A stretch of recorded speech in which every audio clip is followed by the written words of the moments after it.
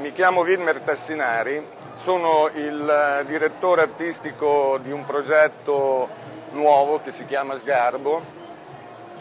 Questo progetto appunto è mirato a, a creare un connubio fra l'arte pura e il mondo dell'abbigliamento, della moda. Cioè io sono un artista che produco questi, dipingo questi quadri e l'idea appunto di trasferirli su delle magliette, su dei capi d'abbigliamento hanno portato alla nascita di questo marchio che